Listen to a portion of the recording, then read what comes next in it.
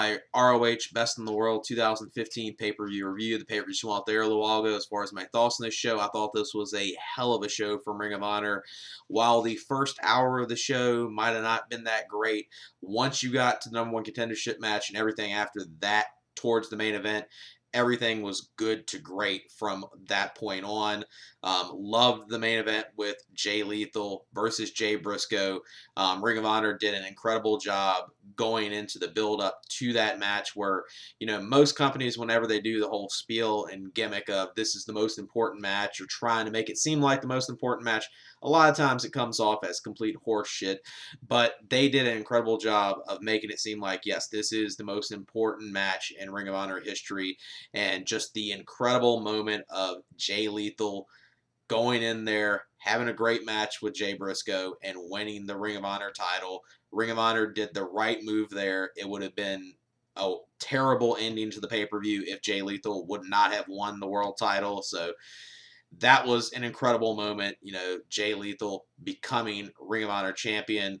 Definitely the moment of the night was that. And then, other than that, you had a crazy, insane, nuts six man tag with uh, AJ Styles teaming up with the Young Bucks, taking on the Bullet Club of Bennett, Taven, and Cole. That was crazy, craziness. That's a match that everyone can enjoy. I mean, it was a spot fest, but it was a fun, fun spot fest, and just great, great stuff involved in there.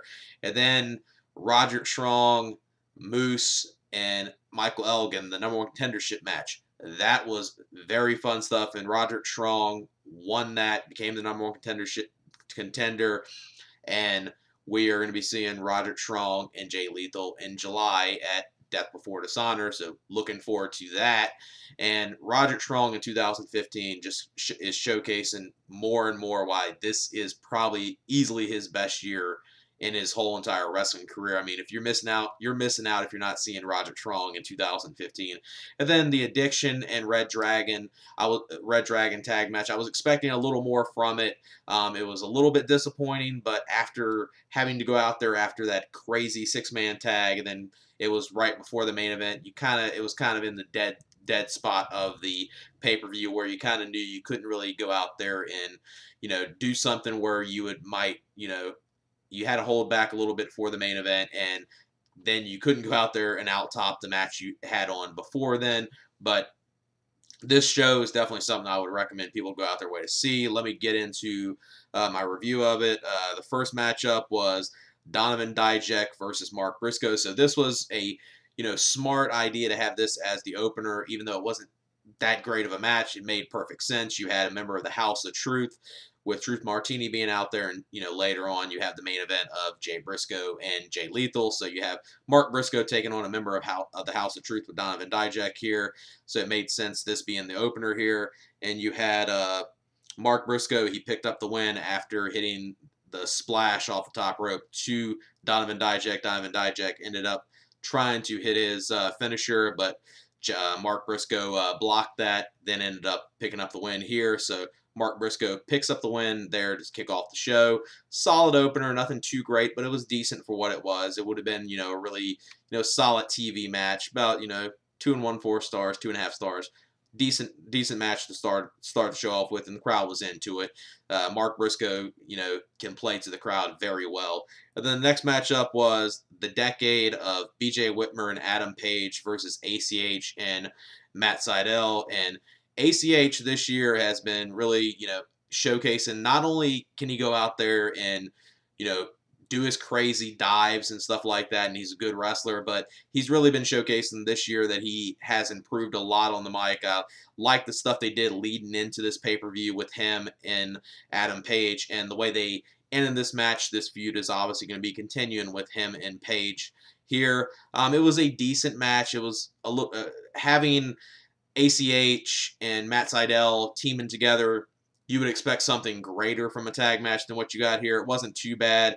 For the most part, Adam Page was the person in, in, in the ring for the most part for the decade. BJ Whitmer did a few things, but not much. I mean, BJ has not been that good in Ring of Honor in a long, long time since, you know, the days of his feud with Jimmy Jacobs and the Ring of Honor versus Combat Zone feud he hasn't really been much of anything in recent years in Ring of Honor. But you know he's kind of rubbing him.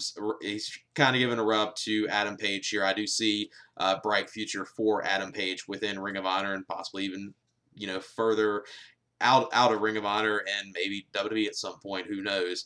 Um, but this match uh, came to end when uh, Adam Page picked up the victory by pinning Matt Sydal. So they still are going on the whole storyline narrative of ACH can never get the big win. So, but he didn't get the he didn't get pinned in here. So obviously they'll be continuing probably at uh, Death Before Dishonor, which is the internet pay per view that's going to be airing in July. Well, I think July 24th. I think that's the date. We'll probably see Adam Page versus ACH on that on that uh, internet pay per view. It was a decent tag match, but like I said, with ACH and Matt Sydal teaming together on a pay per view, you'd expect a little better of a match than what you got here. But it was it was solid. Nothing too special though two and one four stars. Uh, then the next matchup was Silas Young versus Dalton Castle. Um, you know, this was you know purely an entertainment match, and that's what it was supposed to be.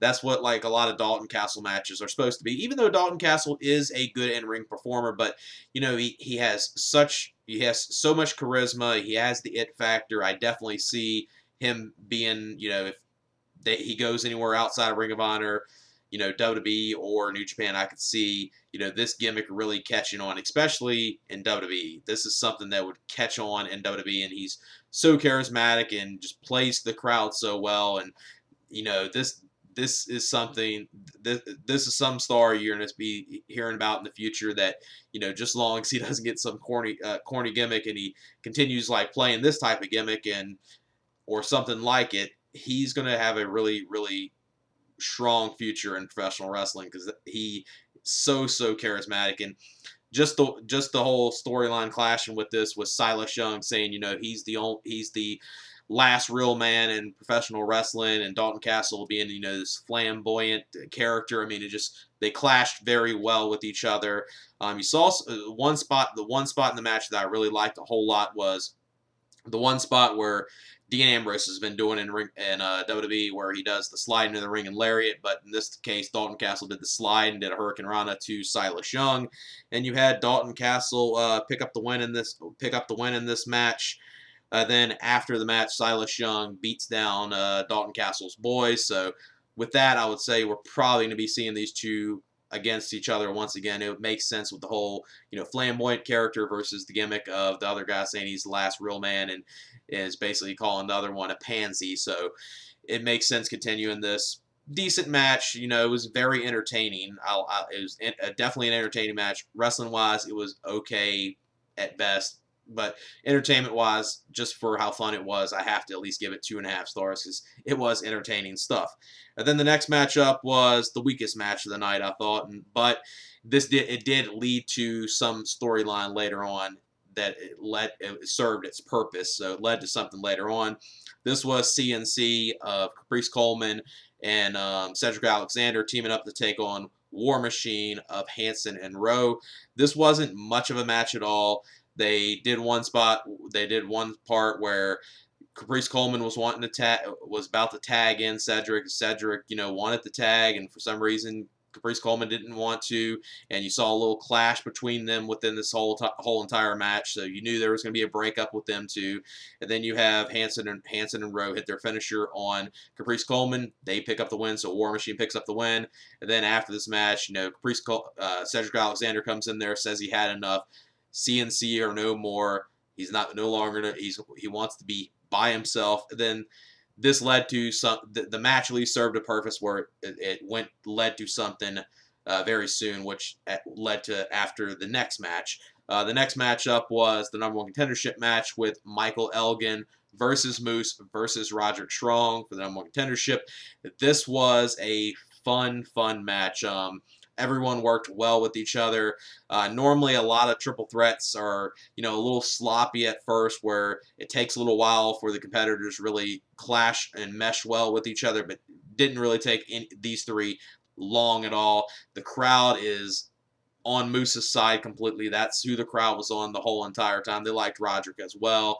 Obviously, Elgin gets the hill treatment here, and just uh, a lot of good stuff in here. You saw, you know, great uh, drop kick uh, from uh, Moose, which the stuff he can do with the size he is and how how green he still is to some degree. I mean, he is really going to be a big star in, in wrestling, I would say, because last year, you know, I didn't think he was ever going to be much of anything. He's he's probably the most improved wrestler of the year. I mean, easily within just a one year span, he's turned himself into a very good in-ring performer. And Roger Strong, just like I said earlier, if you're not haven't seen any of Roger Strong in 2015, you're missing out because he has been great this whole entire year. And Elgin did some good stuff. You saw great action in here, a lot of good stuff. Uh, just a fun, fun match, and the right person wins. Roderick Strong picks up the win. He uh, pins Moose in this match. And then after the match, you have Veda Scott come in there uh, goes after Moose for losing. then it looks like you're going to have uh, Moose uh, hit the spear on Veda Scott. Then you see Cedric Alexander come out there. He's got the wrench. He attacks Moose. He attacks Stokely Hathaway. They're both laid out.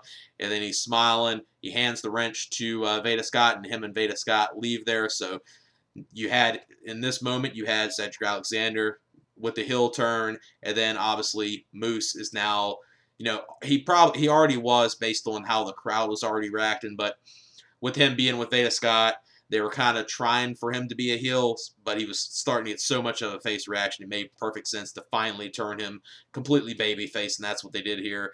And I think I'm going to love seeing Cedric Alexander as heel. I see a lot of great things right there. I'm going to really enjoy that. That is going to be some fun, fun stuff. And as far as the uh, the triple threat match, really enjoyed it a lot rating wise, I probably get three and three, four stars. Really enjoyed it. That that was the that that was the point of the show where this turned into being a very very good pay per view. And then up next was the Kingdom of Bennett, Taven, and Cole versus AJ Styles and the Young Bucks of the Bullet Club, in a six man tag. And this was so so crazy. I mean, this was just a nuts and insane match. I mean, can't say can't go through every single thing that took place in this match because it was so many things in it. It was a spot fest, but it was a fun, fun spot fest. I mean, the stuff that was very memorable in here is you saw a double Indytaker at towards the end of the match uh, to uh, Bennett and Taven, and that took them out of the match. And then, really cool spot, you had uh, Maria get get involved. She came and she got on the ring apron. AJ Styles grabbed uh, grabbed her into the ring. She slapped AJ. And then you saw the Young Bucks. Uh, Matt Nick Jackson hit hit a double super kick, and AJ hitting the Pele kick at the same time to Maria right there. And then the end of the match, uh, you saw AJ Styles hitting the Styles Clash on Adam Cole after a lot of lot of stuff, a lot of you know uh, combo moves that AJ Styles and the Bucks did. This was just you know it, it wasn't a technical based six man tag. No, it wasn't ever supposed to. Int- it was never intended to be.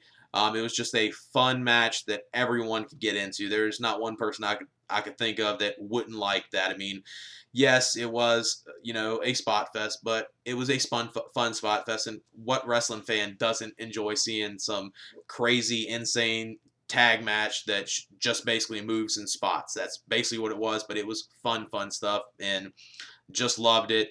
Um, it's kind of hard to say because if it, if it was the match of night, it, it, might be the match of night with me. But with the moment of Lethal win the title, that almost outweighs it. But I give it, you know, four and one four stars, maybe even four and a half. It was a great six man tag. And then after that, uh, I was really looking forward to the next match, but unfortunately, it wasn't a letdown where it was a terrible match. I was just expecting more from it. This was reDRagon versus The Addiction for the ROH Tag Team titles in a no disqualification match. Um, you saw, you know, stuff involved in here. The barricades got involved, ladder spots, uh, and chair spots as well. But uh, you you expected to be just a little more crazy than what it was. You obviously at the end saw Sabin get involved. He ended up costing reDRagon this match, and then the Addiction end up hitting Celebrity Rehab for the win. So the Addiction remain tag team champions, and this feud will continue, which I, am liking it for it to continue. Uh, don't know what they'll do next. I would expect maybe since they had the ladders involved, maybe at some point we're going to see a ladder war for the tag team championships. We haven't seen that in a little bit, um, so that's where I would expect you know reDRagon versus the Addiction feud to lead to next. Um, but it was a fun match. I would still give it, you know, three and a half stars because it was a good tag match. It was really good. You know, Kyle O'Reilly did some great stuff in it. Um, I just expected a little more from it. I was, uh, but after the match they had on before that, you couldn't really be too disappointed just because how many people could have, how many wrestlers could have gone out there and topped that insane six man tag that came on right before them. And then after this, you had the main event, which was obviously what the show was centered around the battle for the belts. Jay Lethal versus Jay Briscoe for the for both championships, the ROH TV title and ROH World title. And you know, it was started off very slow and methodical. It had a very slow build, but I liked that. I liked what they did at the beginning, where you know it was just a really slow paced match. Then it built up, and then once you got halfway into it and close to the end, like last 10 minutes of the match, it was great, great stuff. Um, towards the end, you had uh, you had Jay Lethal. He hit uh, the lethal combination and then Hail to the King to uh, Jay Br- to Jay Briscoe. And then he was then you saw Jay Briscoe and Jay Lethal battling on the ring apron. There was a table out there. They're trying to both uh, hit a move on each other to uh, knock each other to the table. And then you had uh, Truth Martini distract the ref. And then Jay, Bris- uh, Jay Lethal low blowed uh, Jay Briscoe. At, behind the ref, Nigel saw that. He was on commentary the whole time. He throws Truth Martini to the back. And then uh, Lethal basically takes forever. You know, he doesn't take advantage of the low blow and uh, hitting a hitting a brainbuster or something through the table to uh, Jay Briscoe. Jay Briscoe ends up hitting the Jay Driller to Lethal through the top, through the uh, table on the outside. And then just the uh, ending sequences because you knew you knew it was coming, but I was a little worried that they weren't going to go the route of having Lethal become champion, but thankfully they did. He hit Jay's own finisher, the Jay Driller, to Jay Briscoe at the end, then hits the lethal combination, wins the title. The crowd goes nuts. You had the Jay Br- Jay uh, Jay Lethal's parents there, and you had Jay Briscoe's parents there as well. Jay, Bris- Jay Lethal's parents were celebrating at the end, and just a great moment here. Lethal deserved it. It was a great match, four and one four stars. It was, you know, a match that had you know a very slow build to it, but once it got into it, it was a great main event and even bet even a better moment for Jay Lethal becoming champion. And this was a pay per view I definitely would recommend people go out their way to see. I would give it an 8.25 out of 10. Yes, the first hour of the show was a little weak, but once you got past that, you saw a great main event on here, an insane six man tag, a very, very good tri- number one contendership match, and the Ring of Honor Tag Team ch- title match with reDRagon versus The Addiction was very good as well. Just a little bit disappointing. That was probably the only thing I would say that was disappointing on here. And you had, even within the first hour, you had a little bit of entertainment with uh, the Silas Young and Dalton Castle match. So that's it for my ROH Best in the World 2015 pay per view. All right, peace.